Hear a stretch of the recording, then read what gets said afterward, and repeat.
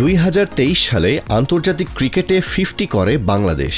অর্থাৎ test, one day ও T twenty এই তিন সংস্করণে বাংলাদেশ গত বছর খেলেছে মোট পঞ্চাশটি ম্যাচ, যা বাংলাদেশের ইতিহাসে এক বছরে সবচেয়ে বেশি আন্তর্জাতিক ম্যাচ। দুই হাজার চব্বিশ সালেও ব্যস্ত সময় পার করবে বাংলাদেশ ক্রিকেট দল।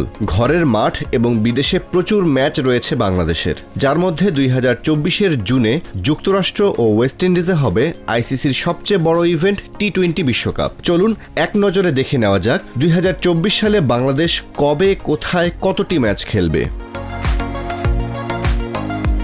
মার্চ মাসেই ঘরের মাঠে শ্রীলঙ্কার বিপক্ষে দুইটি করে টেস্ট এবং তিনটি করে ওয়ানডে ও টি টোয়েন্টি খেলবে বাংলাদেশ। এপ্রিলে ঘরের মাঠে জিম্বাবুয়ের বিপক্ষে দুইটি টেস্ট ও পাঁচটি টি টোয়েন্টি খেলবে বাংলাদেশ। জুন মাসে রয়েছে টি টোয়েন্টি বিশ্বকাপ। জুলাইয়ে আফগানিস্তানের বিপক্ষে দুইটি টেস্ট এবং তিনটি করে ওয়ানডে ও টি টোয়েন্টি খেলবে বাংলাদেশ। আগস্টে পাকিস্তান সফরে রয়েছে দুইটি টেস্ট। সেপ্টেম্বরে ভারতের মাটিতে ভারতের সঙ্গে দুটি টেস্ট ও তিনটি ওয়ানডে খেলবে বাংলাদেশ। অক্টোবরে ঘরের মাঠে দক্ষিণ আফ্রিকার বিপক্ষে দুইটি টেস্ট খেলবে বাংলাদেশ।